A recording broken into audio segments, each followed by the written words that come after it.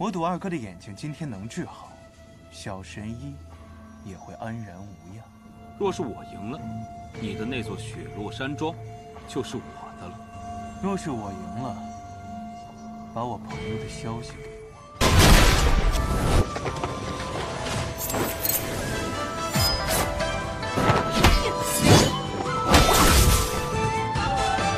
小神医已经要完成他该完成的事情了。去吧。怎么看着这么像武戏？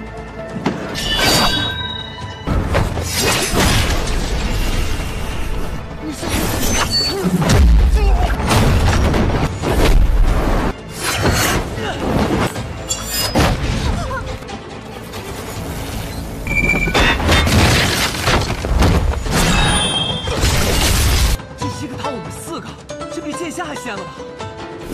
武戏。无心，此时用他确实是操之过急了。虽然这场赌局最后赢的人是我，二哥可是毫发无伤，是吗？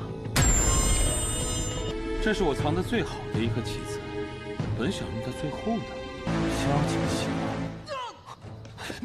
别动，这条毒蝎根本就是我藏在二哥身边的。你败了，曲哥，救我！我败了。我的好朋友死了，我朱什么都不为过。白王殿下，我曾经问过你，为什么选择我这个偏偏瞎了眼的皇子，而你却告诉我，你觉得值得。这个皇位，我可以不要，但这个仇，我一定会报。可笑！白王一向谨慎，你是在责怪我吗？大剑还是想一想，下一步该怎么走吧。我早就帮你想好了，我帮你找了一个打头阵的人。是他吗？他竟然还活着！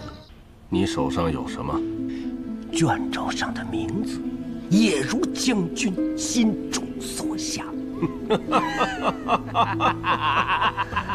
最好的选择，我已经替将军寻到了。只要将军一声令下，大兵天启。让我们回到天启的那把火终于来了，虽然不是萧瑟点燃的，策马扬鞭，直逼天启。你的好兄弟蛰伏多年，最近似乎有些不安分了，但你似乎并不惊讶。我们的对手啊，以他们的做事风格，时机到了也该走到这一步了。